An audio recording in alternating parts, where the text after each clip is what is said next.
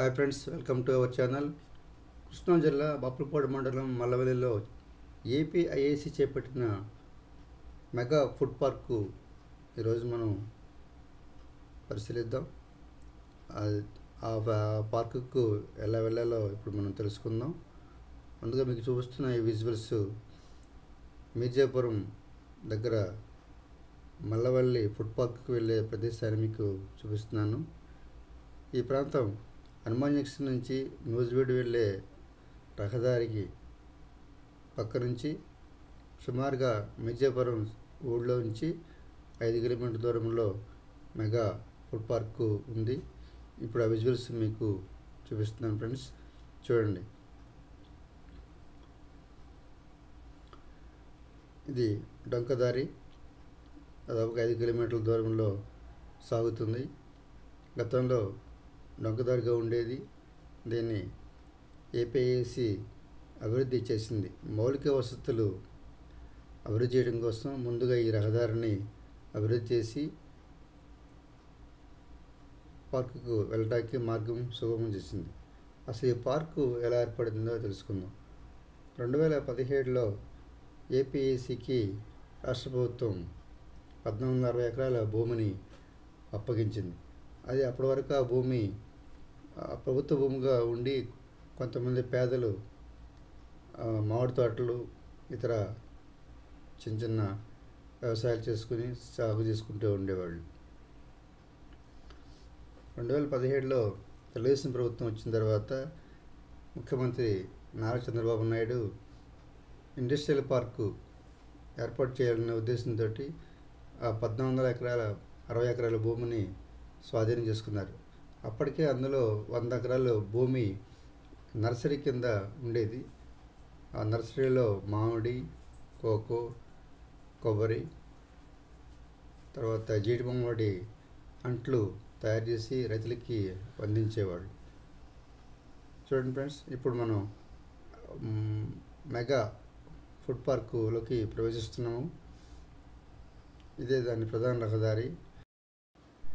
ఇప్పుడు మనం చూస్తున్న ఈ ప్లాంట్ కామన్ ప్రాసెసింగ్ సెంటర్.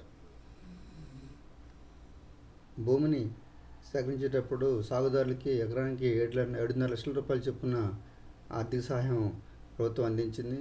అలాగే ఆ భూమి మీద ఆధారపడ్డ పేదలకు కూడా కుటుంబానికి యాభై వేల రూపాయలు చొప్పున ఆర్థిక సహాయం అందించి ఆ భూమిని స్వాధీనం చేసుకుని ఏపీఎస్సికి అప్పగించింది.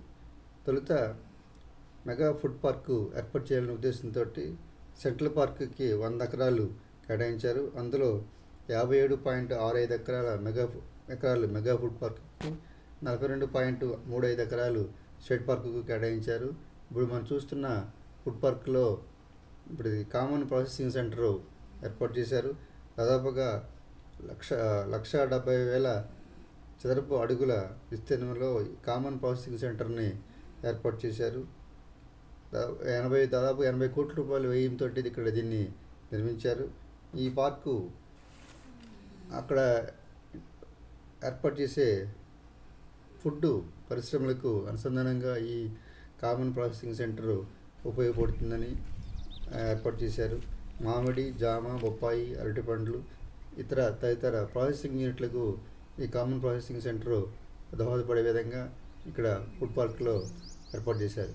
దీనికి విద్యుత్ అవసరాల కోసం ఐదు వేల మెగావాట్ల కెపాసిటీతో thirty three by eleven KV రెండు కోట్ల రూపాయల విద్యుత్ వ్యయంతో విద్యుత్ సబ్స్టేషన్ను ఏర్పాటు చేశారు.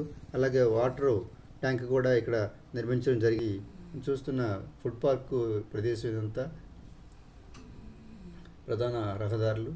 ఇక్కడ ఒక ఫుడ్ పార్క్లోనే ఇక్కడ ఇక్కడ ఒక నిర్మాణం జరుగుతుంది. విజువల్స్ ఇప్పుడు చూస్తున్నాను. ప్రజెంట్ ప్రస్తుత పరిస్థితి మెగా ఫుడ్ పార్క్లో జరుగుతున్న పరిస్థితి మీకు ఇప్పుడు విజువల్స్లో చూపిస్తు చూడండి ఫ్రెండ్స్ ఇది దీని పక్కనే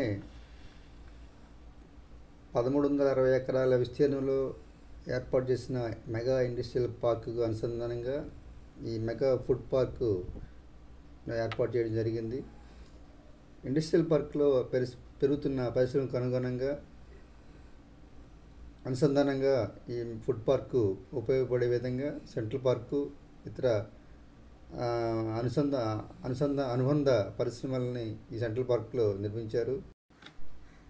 ఇది ఫ్రెండ్స్ మల్లవెల్లిలో ప్రస్తుతం అండర్ కన్స్ట్రక్షన్లో ఉన్న సెంట్రల్ పార్క్ విజువల్స్ ఇవి. ఇది వంద ఎకరాల్లో జ జరుగుతోంది. మరి మరిన్ని అప్డేట్స్తో మళ్ళీ కలుద్దాం. Thank you for watching.